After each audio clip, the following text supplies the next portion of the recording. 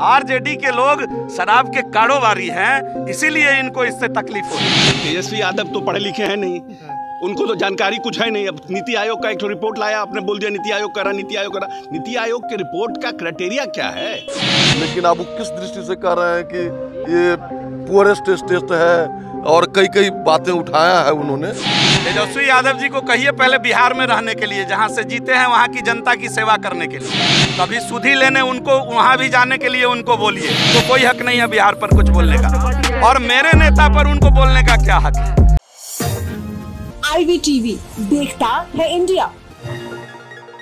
तैयारी होगी सरकार नहीं विपक्ष की जवाब जवाबदेही है और विपक्ष का ये राजनीतिक दायित्व तो बनता है कि सरकार को जो उनको लगता है कि जो सरकार उनको उस पर सवाल करना। और सरकार की ये जवाबदेही है कि विपक्ष को संतुष्ट करना। हम लोग विपक्ष को संतुष्ट करेंगे। लेकिन लेकिन कई नीति आयोग का मामला हो। आयोग का जो मामला है, नीति आयोग ने क्राइटेरिया नहीं डिस्क्लोज किया है। On which criteria he saying Bihar is on the last stage वो तो क्राइटेरिया बता नहीं रहे हैं। पंद्रह साल का जो हमारे पास आंकड़ा है, जो हम लोग कह रहे हैं कि कैसे हमने इस पंद्रह वर्ष में हमने बिहार को डेवलप किया। इंडिया टुडे का सर्वे देख लीजिए। आप नीति आयोग को मांगिएगा कि इंडिया टुडे के survey India Today is also a credible organisation उसके सर्वे को मानिएगा। उसने सर्वे में कहा है कि बिहार ने एजुकेशन इंफ्रास्ट्रक्चर इसमें नाम है और नंबर पहला नंबर दिया है। तो आप नीति आयोग का जो क्राइटेरिया है वो डिस्क्लोज करें ना नीति आयोग। और हम तो बार बार कह रहे हैं कि हाँ वी नीड सेंट्रल असिस्टेंस हमको सेंट्रल असिस्टेंस मिलना चाहिए। Why NITI Aayog is not creating a central assistance for Bihar if he feels that Bihar is on a last stage अगर हम ये कहते हैं कि इतने प्रयास के बावजूद भी जो हमारे लिमिटेड रिसोर्सेज हैं उसमें हमने प्रयास किया। ऐसा तो है नहीं कि पंद्रह साल में हमने बिहार को गर्त में बैठा दिया। अगर मूलभूत संरचना देखिए कितना हमने हमने करीब सत्रह हज़ार किलोमीटर से ऊपर रोड बनाया है सिर्फ़ नेशनल हाईवे स्टेट हाईवे का अलग है। अब बिजली घर घर में हम लोग पहुँचाने का काम किया है। बारह प्रतिशत बच्चे स्कूल के बाहर थे, अब एक प्रतिशत से कम बच्चे स्कूल के बाहर हैं। हमने स्कूल प्राथमिक विद्यालय पच्चीस हज़ार से ऊपर प्राथमिक विद्यालय का निर्माण किया है। दो लाख सत्तर हज़ार से ऊपर अतिरिक्त वर्ग कक्ष का निर्माण किया हर क्षेत्र में हमने काम किया है। आप उस सब आंकड़ा को आप देखते नहीं हैं। अब वो सब क्राइटेरिया कहाँ से लाए आपने? What criteria makes Bihar on the last stage ये तो डिस्क्लोज करिए। तेजस्वी यादव उन्हीं क्राइटेरिया के आधार प्र- प्र- तेजस्वी यादव तो पढ़े लिखे हैं नहीं। उनको तो जानकारी कुछ है नहीं। अब नीति आयोग का एक तो रिपोर्ट लाया आपने बोल दिया नीति आयोग करा नीति आयोग करा। नीति आयोग के रिपोर्ट का क्राइटेरिया क्या है? हम तो उस पर बहस करेंगे ना क्योंकि हमने पंद्रह साल काम किया है। हमने पंद्रह साल काम किया है तो अगर आप हमको कह रहे हैं कि हम फेल हैं अगर कोई विद्यार्थी किसी को नब्बे नंबर आ रहा है और कोई प्रोफेसर बोल दे कि ये अनपढ़ विद्यार्थी है तो नेचुरली वो विद्यार्थी प्रोटेस्ट करेगा ना भाई। हैं है तो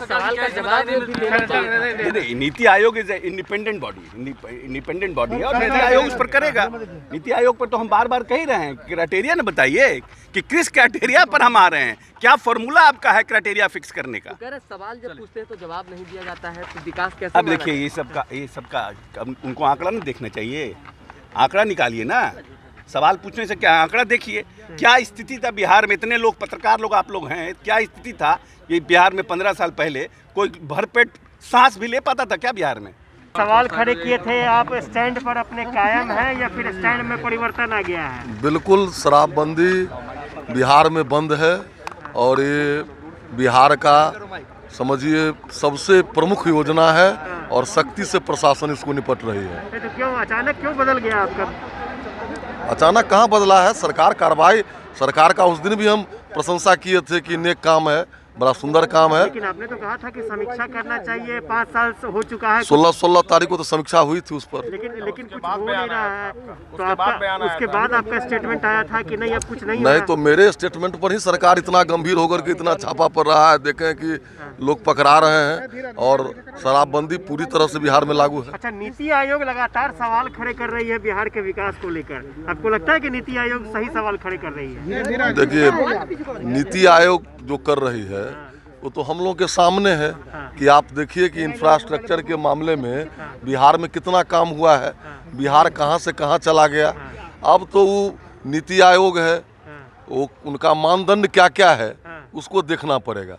लेकिन ज़मीन पर अगर हम लोग महसूस करते हैं तो बिहार में गुणात्मक परिवर्तन आया है, बिहार कहाँ से कहाँ चला गया इसका कोई परिकल्पना नहीं है। शराबबंदी पर आपके बयान पर बलियाबी ने कहा कि नशे में आप लोग बयान देते हैं। बचौल जी कि मानक किस मानक निश्चित रूप से उनका मानक क्या है? हम लोग तो ज़मीन पर देखते हैं कि विकास में चार चाँद लग रहा है लेकिन अब वो किस दृष्टि से कह रहे हैं कि ये पुअरेस्ट स्टेट है और कई कई बातें उठाया है उन्होंने लेकिन उसको देखना पड़ेगा। कुल मिलाकर के बिहार प्रगति के नए ऊंचाइयों को छू रहा है। के एक विधायक हैं उनके उनके होटल में छापा पड़ा कई शराब की बोतलें पकड़ाई हैं। वो लोग ज़्यादा उसमें लिप्त हैं। आपके बयान को कहते हैं कि आप लोग नशे में बयान देते हैं शराबबंदी कि उनके समय में बिहार के अंदर लोगों का तनख्वाह कितने दिनों के बाद मिलता था और कितने लोगों को तनख्वाह मिलता था? अरे बड़ा स्पष्ट है मैं तो डेटा की बात करता हूँ। अंतिम बजट जो राबड़ी जी बनाई थी बिहार के अंदर, वो चौ, लगभग चौबीस हज़ार करोड़ रुपए का था। आज माननीय नीतीश कुमार जी के नेतृत्व में यह सरकार दो लाख अट्ठारह हज़ार करोड़ का पिछला बजट बनाई है। तो यही बताता है कि बिहार किस प्रकार से आगे बढ़ा है, बिहार कहाँ जा रहा है, बिहार के अंदर कुशल नेतृत्व खड़ा है, और इन लोगों को थोथी दलील देने से बिहार थोड़े पीछे मुड़ के देखने वाला है। बिहार आगे बढ़ रहा है, बिहार आगे बढ़ता रहेगा और नीतीश कुमार जी के माननीय नीतीश कुमार जी के नेतृत्व में तारकिशोर जी के नेतृत्व में रेणु देवी जी के नेतृत्व में हम लोग नई बड़ी लकीर खींचने की तैयारी कर रहे हैं। लगातार सवाल खड़े कर रहे हैं। तेजस्वी यादव जी को कहिए पहले बिहार में रहने के लिए जहाँ से जीते हैं वहाँ की जनता की सेवा करने के लिए। कभी सुधी लेने उनको वहाँ भी जाने के लिए उनको बोलिए। ये ये जब जब सत्र आएगा, दिल्ली से आ जाएँगे, प्रवासी के जैसा जीवन जीते हैं, वो क्या बोलेंगे बिहार के लिए? उनको कोई हक नहीं है बिहार पर कुछ बोलने का। और मेरे नेता पर उनको बोलने का क्या हक है? आप जरा देख लीजिए ना, हम हम तो डेटा बता रहे हैं कि 2005 तक बिहार के अंदर कितना मेडिकल कॉलेज खोले हैं? राबड़ी लालू जी, बता दीजिए हमको। पंद्रह साल के शासन में कितने मेडिकल कॉलेज खोले हैं? पंद्रह साल के शासन में कितने इंजीनियरिंग कॉलेज खोले हैं? पंद्रह साल के शासन में कितने पॉलिटेक्निक खोले हैं? हम तो डेटा की बात करते हैं कि नीति आयोग ठीक है अपने अपने तरीके से चीज़ों की चीज़ों को रखता है।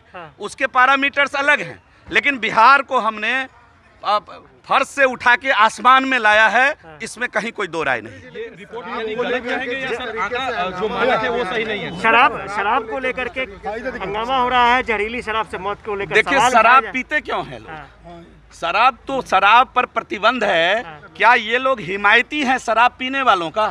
जरा उनसे पूछिए कि ये शराब पीने वालों का हिमायती है क्या? तो संकल्प क्यों लिए थे? इनका इनका नेता भी बिहार विधानसभा के अंदर संकल्प लिया था कि न शराब पिएँगे न शराब पीने देंगे। फिर इस बात को लेकर प्रदर्शन करना मुझे ताजुब होता है कि इनकी कोई नीति है कि नहीं इनके पास कोई नेता है कि नहीं और सदन में किस हैसियत से इनका नेता खड़ा होकर के शपथ लिया कि न मैं शराब पीऊँगा न पीने दूँगा इस पर चर्चा करना ताजुब है मुझे। कि किस किस प्रकार का नेतृत्व बिहार को देने की चिंता कर रहे हैं ये लोग?